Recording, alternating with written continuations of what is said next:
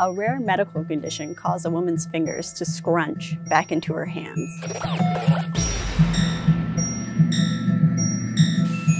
A 69 year old woman checked into the hospital with a case of telescoping fingers, which means the bones of her hands were literally buckling back into themselves, kind of folding up like a telescope can. When doctors felt the woman's fingers, they could tell they were smaller than they should be in a healthy person.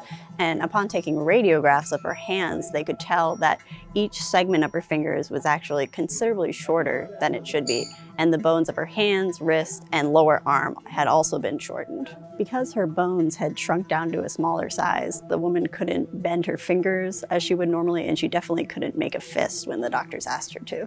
The doctors themselves could pull at the tips of the woman's fingers to kind of stretch them out to their original lengths, but they wouldn't stay there by themselves.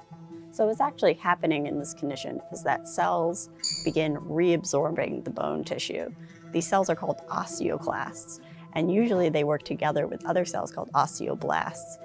The osteoblasts build bone tissue while the osteoclasts wear away that tissue so our bones are shaped appropriately and grow so that our skeleton fits together.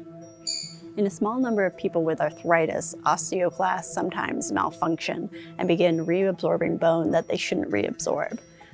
Clinicians think that this might be because of the inflammatory substances present in bone tissue when you do have arthritis, but they're really not sure. Research is ongoing though. Thank